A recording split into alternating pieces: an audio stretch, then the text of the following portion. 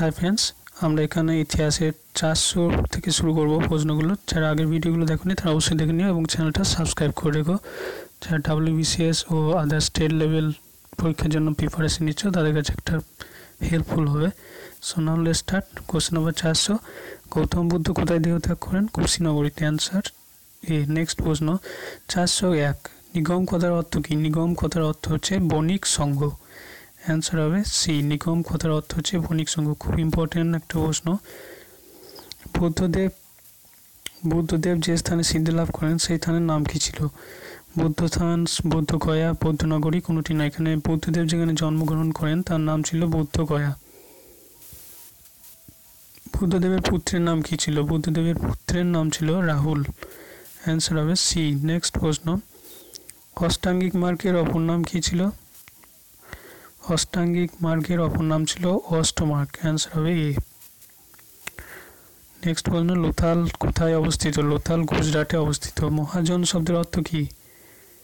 মহাজন শব্দের অর্থ ক্ষুদ্র রাজ্য, বৃহৎ রাজ্য, মাঝারি রাজ্য, কোনোটি নয়। এখানে বৃহৎ রাজ্য, সঠিক অ্যান্সার হবে বি নেক্সট প্রশ্ন, খ্রিস্টপূর্ব ষষ্ঠ শতকে উত্তর পূর্ব ভারতে কয়টি মহাজন পদ ছিল? বারোটি, পনেরোটি, ষোলোটি এবং সতেরোটি।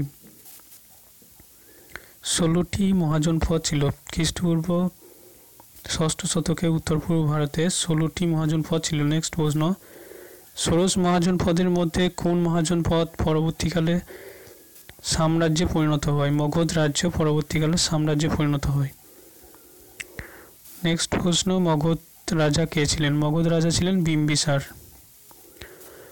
অ্যান্সার হবে সি নেক্সট প্রশ্ন, কোন বিদেশি জাতি প্রথম ভারত আক্রমণ করে?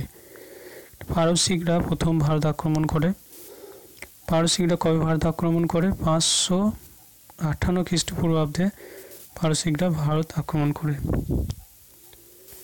কোশ্চেন নাম্বার চারশো বারো, কার উপাধি ছিল কুনিক? অজাত শত্রু কুনিক উপাধি ধারণ করেন।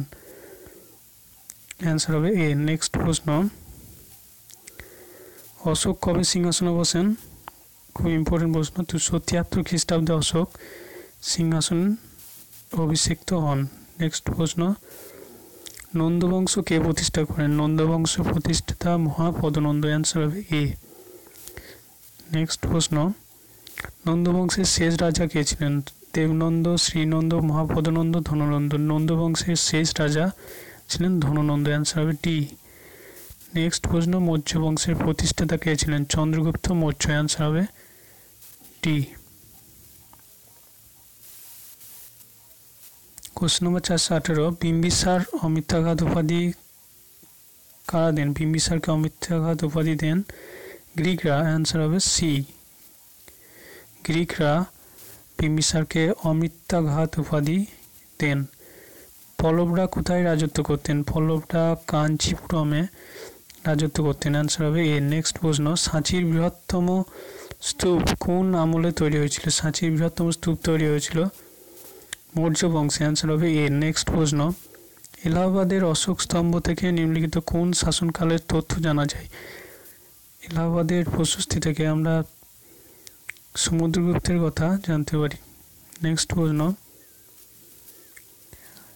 চারশো বাইশ, নিম্নলিখিত কার কাছে হর্ষবর্ধন পরাস্ত হয়েছিলেন? হর্ষবর্ধন কার কাছে পরাস্ত হয়েছিলেন? চালুক্যরাজ দ্বিতীয় পুলকেশির কাছে হর্ষবর্ধন পরাস্ত হয়েছিলেন। বৌদ্ধ সাহিত্য কোন ভাষায় রচিত হয়েছিল? বৌদ্ধ সাহিত্য পালি ভাষায় রচিত হয়েছিল। হর্ষাঙ্ক হর্ষাঙ্ক রাজ বিম্বিসারের রাজধানী কোথায় ছিল? রাজগীর অ্যান্সার হবে সি। হর্ষাঙ্ক রাজ বিম্বাস বিম্বিসারের রাজধানী ছিল রাজগীর নেক্সট প্রশ্ন, চারশো পঁচিশ। নিম্নলিখিত কোন নদীর তীরে বিখ্যাত হিদাস বিশেষ যুদ্ধ সংগঠিত হয়েছিল? হিদাস বিশেষ যুদ্ধ সংগঠিত হয়েছিল বিতস্ততা অ্যান্সার হবে এ। ভারতের সবথেকে প্রাচীন সভ্যতা কোনটি? মেহেরগড় সভ্যতা। অ্যান্সার হবে সি ভারতের প্রাচীন সভ্যতা হচ্ছে মেহেরগড় সভ্যতা। So thank you watching this video